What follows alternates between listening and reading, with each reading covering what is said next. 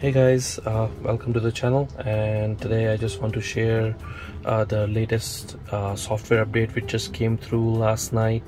Uh, the latest software version is 2021 4.18.10 uh, and uh, I was driving last night home and I saw the software update notification so I was pretty excited. As soon as I reached home I connected to my home Wi-Fi and started downloading it.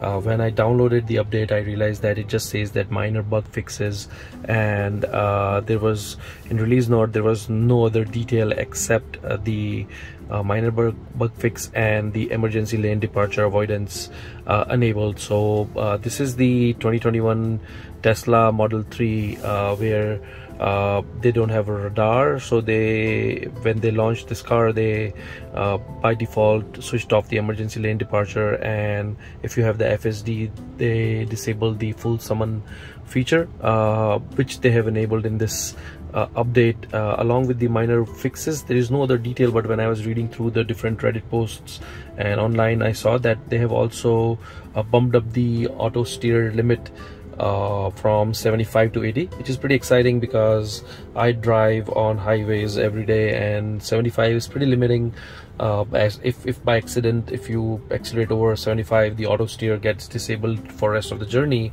till the time you uh, make the car on full stop and start it again. So that was a little annoying because the speed limit in my area where I live is around 70 miles and uh, so yeah people normally drive uh, between 75 to 80 so uh, 80 is still I think a little limiting. I really would like to go back uh, to uh, where the car can go 90 I normally don't drive that fast but hey why not to have an option uh, rather than just limiting it? Uh, I have upgraded to Tesla from Acura. I still own my Acura. It is a 2018 model and I loved that car but Tesla has uh, kind of spoiled me. I really love the autopilot feature in this car and like obviously all of the things uh, but uh, auto steer autopilot is is awesome and that's what kind of sold me uh, and make me think that I should go full FSD uh, which I will in some time and I will let you know once I will buy that. I'm saving some money for that. It's an expensive purchase but yeah I will let you know uh, also I was reading through that on this minor fixes uh, in this update they have also included something called as an animal detection where the uh, graphics on on on the car uh, when you're driving it shows you like the in the construction zone it shows you cones on the side and the garbage trash cans and uh, animation of other cars with people walking around.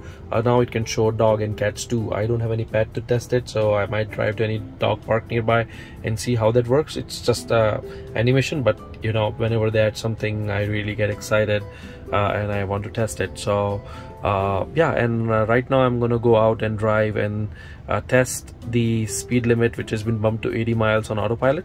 And I will uh, show you that. So let me know your thoughts. There is nothing major which came in in this except the emergency lane departure avoidance uh, activated and the summon feature activated and the speed limit enhanced to 80 miles um, and yeah that's it. And let me know your thoughts in the comments below. Talk to you soon.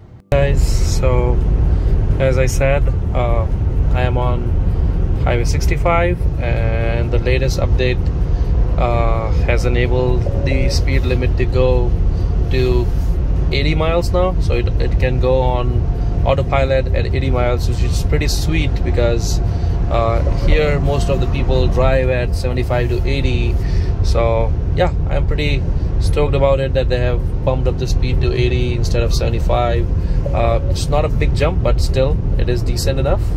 Uh, and I think in the previous update they also uh, update the camera module inside the cabin.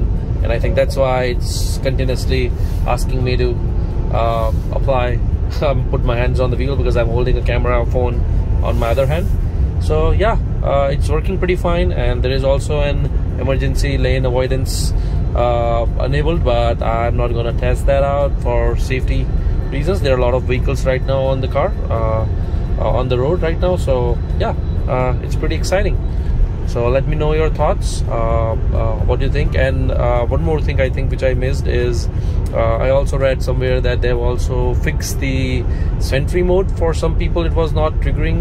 Uh, it happened to me too that in some cases it was triggering some cases it was not triggering.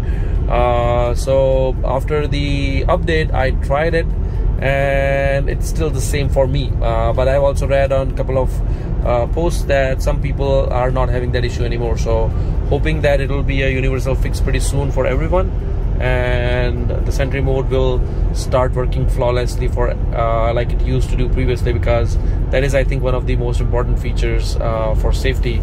And if it is not uh, working properly it, it's not nice. So yeah let me know your thoughts and comments and we'll talk